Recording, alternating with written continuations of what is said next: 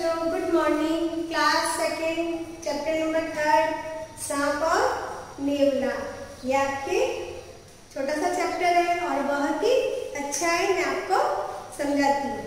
ठीक है? सबसे पहले हम इस चैप्टर को रीड करते हैं। इसमें है, एक है सांप है और एक है नेवले नेवला सांप और नेवला आपने कभी सुना है? सांप और नेवला एक दूसरे के दुश्मन होते हैं।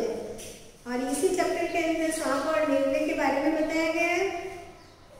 एक पति पत्नी है, जैसे रामदास और सावित्री पति पत्नी थे दोनों उनके एक पुत्र था, उसका नाम था सोनू। उन्होंने अपने घर में एक नेवला पाल रखा था। नेवला आपने देखा है कभी? नेवला सांप का दुश्मन होता है। नेवला पाल रखा था, सोनू और नेवला जो है एक दूसरे एक दूसरे से हिल मिल गए थे, दोनों पक्के दोस्त बन गए थे। कौन? सोनू और नेवला सोनू रामदास और सावित्री के बेटा था। और नेवले को उन दोनों ने पाल रखा था। और सोनू जो था नेवले का दोस्त बन गया था। एक दिन रामदास अपने खेत पर गया हुआ था। रामदास अपने खेत पर गया था। सावित्री भी किसी काम से बाहर गई थी।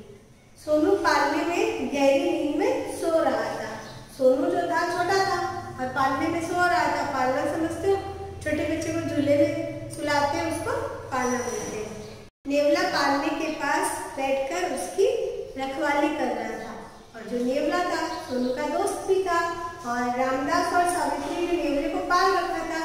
तो वो सोनू की रखवाली कर रहा था एकाएक नेवले की नज़र सांप पर पड़ी यहाँ पे शब्द आया एकाएक एकाएक का मतलब अचानक से नेवले की नज़र किस पे पड़ी सांप पर पड़ी वह सोनू के पालने की तरफ़ सरपट आ रहा था सोनू पालने में सो रहा था और नेवला एकदम तेज़ी से सांप जो है, एकदम तेज़ी से पालने की तरफ़ आ रहा था।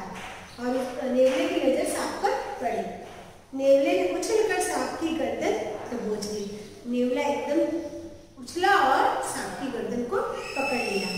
फिर तो सांप और नेवले में जमकर लड़ाई हुई सांप और नेवले में बहुत ही जमकर, एकदम खतरनाक लड़ाई हुई अंत में नेवले ने सांप को मार डाला। लास्ट में क्या हुआ? नेवले ने सांप को मार दिया। थोड़ी देर में नेवले ने सावित्री को आते देखा। सोनू की मम्मी थी सावित्री। सावित्री आई। नेवले ने देखा कि भैया सावित्री आ रही है। मालकिन का स्वागत करने के लिए वह दौड़कर दरवाजे पर जा पहुँचा।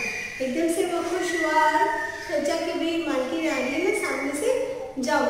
और वो एकदम से दरवाजे के पास पहुँचा सावित्री ने नेवले के खून से सने मुँह को देखकर चकित हो गई सावित्री ने देखा कि भाई नेवले के मुँह में खून लगा था और एकदम उसके मुँह पे खून लगे हुए देखकर वह चकित रही चकित यानी हैरान रह गई कि ये क्या उसने कुछ भी नहीं सोचा और सिर्फ़ बिना सोचे समझे ये समझ लिया कि भाई नेवले ने जो है उसके बेटे को मार डाला वह गुस्से से पागल हो गई बिना सोचे समझे वह गुस्से से पागल हो गई उसने बरामदे में पड़ा हुआ डंडा उठाया और ज़ोर ज़ोर से नेवले को मार डाला मारा कि नेवला तुरंत मर गया इतना ज़ोर से उसको मारा कि नेवला मर गया इसके बाद दौड़ती हुई कमरे के अंदर गई सोनू को सुरक्षित देखकर वह बड़ी खुश हुई जैसे ही वह दौड़कर कमरे के अंदर गई और देखा कि सोनू जो था वो पालने में अच्छे से सो रहा है तो उसको सुरक्षित देखा और एकदम से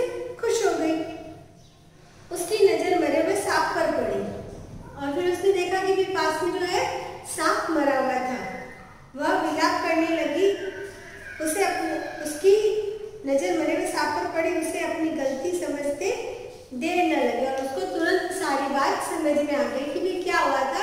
नेवले ने तो सांप को मारा था और मैंने सांप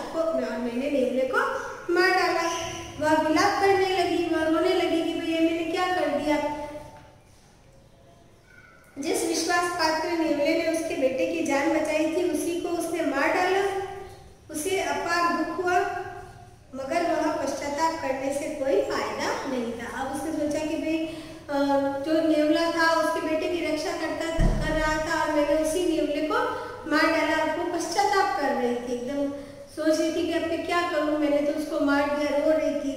और अब कोई फ़ायदा नहीं है। पश्चाताप करने से कोई फ़ायदा नहीं है। तो इससे क्या आपको सीख मिलती है कि भाई, कोई भी काम जो है बिना सोचे समझे ऐसा कोई कदम नहीं उठाना चाहिए जिसके बाद में आपको पछताना पड़े।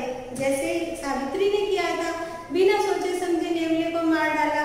नेवला तो सोनू की, नेवले ने तो सोनू की जान बचाई थी, लेकिन सावित्री ने बिना सोचे समझे नेवले को मार मार दिया इसलिए ऐसा कभी नहीं करना चाहिए कोई भी काम हो आपको सोच समझ कर चाहिए सावित्री।